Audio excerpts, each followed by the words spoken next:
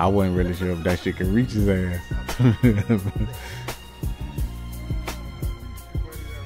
I bound his ass though. It reached him.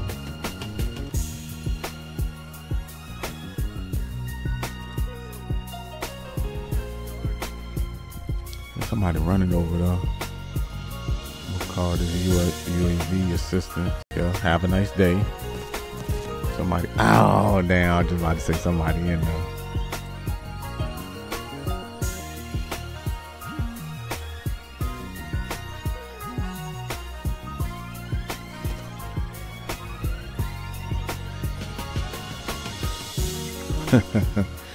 and I knew we was gonna lose that.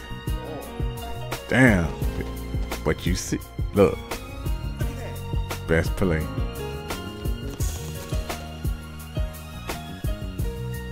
Uh oh, that's what's up.